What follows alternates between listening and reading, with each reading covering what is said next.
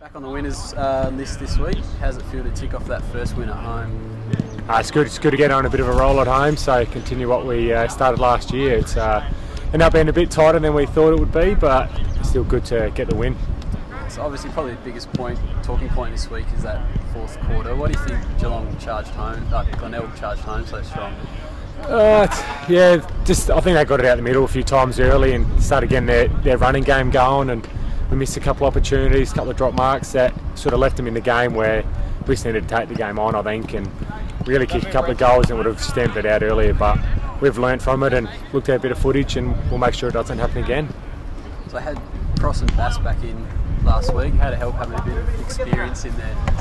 Yeah, it's always good having now both the big boys back in, especially Crossy. You know what he gives. Boys will target him a bit from Glenelg, but you know we uh, we know what he gets each week. And same as Bass with his hit outs was awesome. So we we're you know for him to sort of give us first hit at times and, and his tackling pressure as well was, was really good. So it's good to have him back in. And the other big story on the day would have been Connor Fairlie's first game. How do you rate the performance from the little man? Yeah, he done well. Uh, would have kicked one goal, set up a couple more, so he was real smooth. So would have been nice to uh, win the game a bit easier for him to get a couple more for himself, but uh, he definitely uh, excited the crowd and his pressure was, was really good. So it's good for a man who was struggling to make their reserves last year to come back and be playing league football. Obviously, Norwood this Friday at the parade. What do we need to do to take home the points? Start fast, I think. We uh, in the past we've sort of let them off to a few goal head start, so I think we're just going to make sure we win the first quarter, and if we're around the mark the first quarter, we'll have a, a red hot crack I think against them. Thanks, Cody. Good luck this Thank week. you. First league game over the weekend. When did you find out you were playing?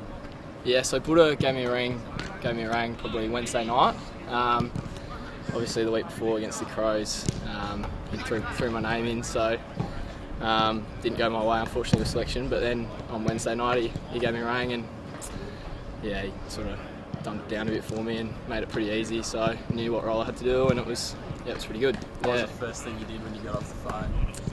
Um, well, I just sort of went out and told the rants, and um, yeah, they were pretty pumped. Um, I was in the middle of an assignment, but so didn't end up, didn't end up finishing that. It was just too too keen, and so yeah, no, it was good. Yeah, How were the nerves before the game?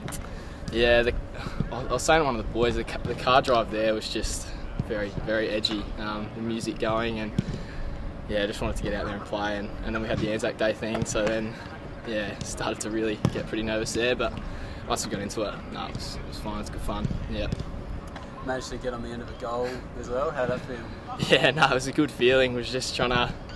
Uh, it probably took my full 30 seconds and just tried to calm down and just make sure we slotted it. And lucky enough, went through. But pretty pumped. Yeah, it was good. Yeah.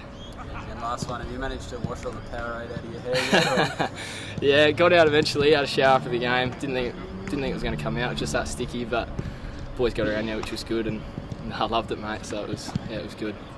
Congratulations. Good luck again this week. Thanks very much. Cheers.